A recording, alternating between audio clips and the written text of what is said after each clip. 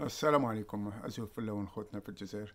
هذا لإتمام الفيديو الأول اللي كنت بديت فيه وكان قطعت لي ظروف خارجة عن نطاقنا كما يقول لك. آه، فيما يخص نرجع للموضوع. الموضوع اللي كنت بديت آه، كنت كملت فيه هو أنيس رحماني هذا. رئيس قناة ومديرها مدير قناة العار. يعد أنه جاسوس. جاسوس حتى جاسوس أمريكي على حسب ويكيليكس. أنه جاسوس أمريكي يعني يدي لهم المعلومات ويوصل لهم كما نقولوا إحنا الأخبار عن الجزائر. رغم سبحان الله ما مداتوا الجزائر عفوا داتوا الجزائر كل ما لديها داتوا المال الجاه توصل حرية السفر حرية حتى سرقة نساء. رجال آخرين. معلش. هذا لوجود لوجود عصابات حكم العصابات هو كذلك يعني. لا يتغير. مهما كان الزمن والوقت عصابة هي عصابة. والاستعمار الثاني هو يتمثل في القائد صالح. لماذا القائد صالح؟ الاستعمار الأولاني حتى لو نقولوا كانوا فرنسا فرنسا هما ولادها هما ولادها أنت تقول على أنك اذيال العصابه اولا اللي تمثل في بوتفليقة أنك أطحت بهم. بما أنك أطحت بهم وكان النذل تاع هذا أنيس الرحماني صاحب قناة العار محمي من طرف سعيد بوتفليقة. كان محمي بالطرف ألم يكن جاسوسا ذاك الوقت؟ وما زال جاسوسا للإمارات والولايات المتحدة. سبحان الله. إحنا رانا عايشين 30 عام في أمريكان. حاملين الجنسية الأمريكية. ولو كانت تجيني في الجزائر تقطع لي راسي. والله ما نعطيهم كلمة. علاه. parce que الجزائر في الدم. لكن انتوما خونة خونة وابناء خونة حركى ولاد حركى. ما تغيروش. آه. شو بغيت نقول. بما أن سعيد ب... سعيد بوتفليقه سقط يعني. دخلتو الحبس أنت زعما. مافيا دخل مافيا الحبس ولا قتله ولا. سيدي بغا سيد الوي. ألم يكن آنس محمي؟ هذا آنس رحماني محمي من طرف سعيد بوتفليقة فلماذا تحميه أنت الآن؟ إذا كنت مواطن. وتخاف على مصلحة الجزائر. فلماذا تحميه؟ أنيس رحماني أنك أنت حاميه. وحتى تبعثه في في مأموريات الإمارات فرنسا. فلماذا تحميه إذا كنت أنت مواطن صالح؟ العيب فيك أنت.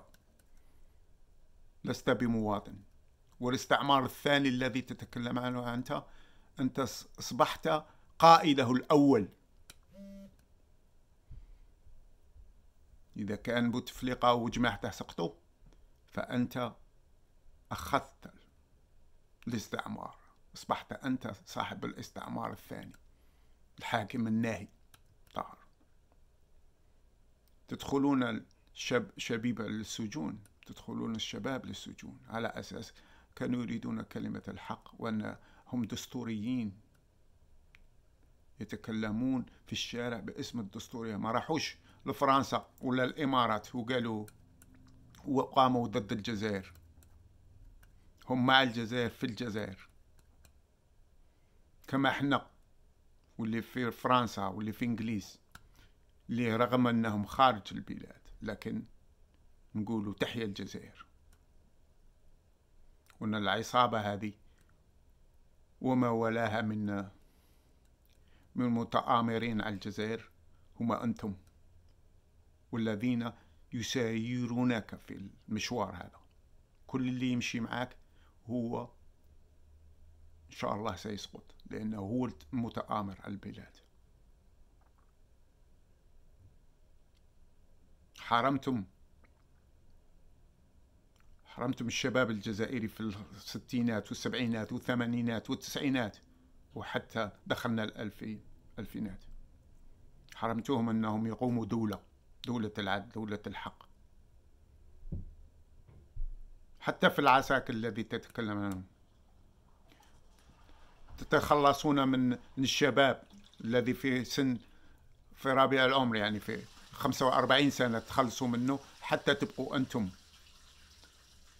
وتبقى أجندات تاع فرنسا عن طريق المخابرات تتحكمون في الجزائر. تحطون تحطوا في الحكم كل من هو رديء. مثلك رديء. سنة رابعة. What you can do. Nothing. آه. غادي تشوف ان بلون تعرف وين راه ماشي جيشو لا انت اللي يهمك مركزك وفساد أبنائك وجماعتك. تتخلصون من دكاترة. في المؤسسة العسكرية في سن ال 45 أو حتى ما ما قربوش حتى ال 50 سنة. تخلصون منهم. على أساس ماذا؟ أنك تحب الجزائر؟ لا. الجزائر تبنى بعلم وبوطنية وبإخلاص وبتربية. مش فشل. فساد مالي أخلاقي. كيفك؟ لازم تحرر أبناء الجزائر. وأنت هو الاستعمار. الثاني الذي تتكلم عنه. ما نطقت به والله هو أنت. جريت نفسك فيه فيما لا يعنيك. وظنيت أنك ستتحكم في الجزائر عن طريق المخابرات الفرنسية والإماراتية. الجزائر ستتحرر إن شاء الله بأبنائها. رضيت أو لا ترضى. الجزائر إن شاء الله تسقل.